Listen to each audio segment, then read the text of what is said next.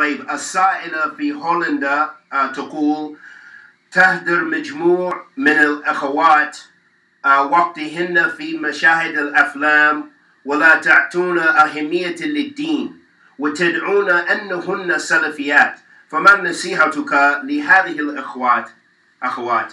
هذا نصيحتي تقوى الله ولا شك أن الناس اصابتهم فتنه من خلال متابعة المسلسلات ووسائل التواصل. فلا يجوز للمسلم يؤمن بالله وبرسوله صلى الله عليه وسلم أن ينكب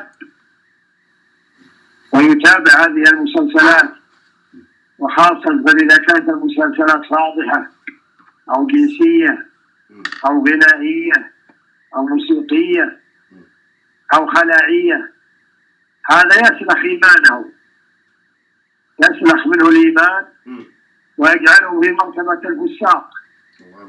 وربما انحرف عن الدين وترك الدين. جملة فعليهن تقوى الله والمحافظة على الطهارة والصلوات الخمس وقراءة القرآن والأذكار والاستغفار وأذكار الصباح والمساء والنوم ما شابه ذلك وتربية الأبناء والقيام بحقوق الأزواج والبعد والحذر غاية الحذر.